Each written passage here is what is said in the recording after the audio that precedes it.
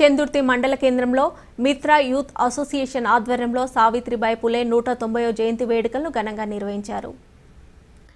ఆమె చిత్రపటానికి పూలమాలలు వేసి నివాళి అర్పించారు. ఈ సందర్భంగా మిత్ర యూనిట్ సభ్యులు మాట్లాడుతూ ఆధునిక చదువుల తల్లి సావిత్రిబాయి పూలే కుల వ్యవస్థలో మానవ హక్కులు కోల్పోయి శూద్ర ఎస్సీ ఎస్టీ కులాల వారికి అన్ని కులాల మహిళలకు చదువు చెప్పిన మొదటి ఉపాధ్యాయురాలని గుర్తు చేశారు.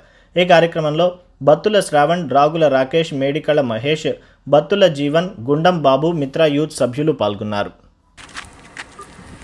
ఈరోజు చందుర్తి మండల కేంద్రంలో మిత్ర యూత్ అసోసియేషన్ ఆధ్వర్యంలో సావిత్రి పులే నూట తొంభైవ జయంతి పండుగను పురస్కరించుకొని మిత్ర యూత్ ఆధ్వర్యంలో మరి ఆమెకు పూలతో సత్కరించడం జరిగింది.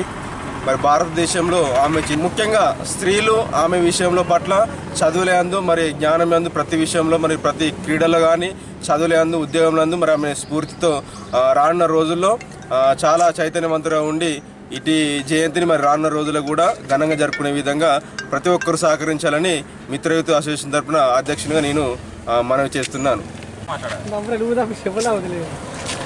మరి ఈ సమయంలో ఈరోజు సావిత్రిబాయి పులే గారి నూట తొమ్ నూట తొంభైవ జయంతిని పురస్కరించుకొని మరి అంబేద్కర్ బస్టాప్ బస్ స్టాప్ ఆవరణలో మరి మేము జయంతి ఉత్సవాలను ఘనంగా జరుపుకుంటున్నాము.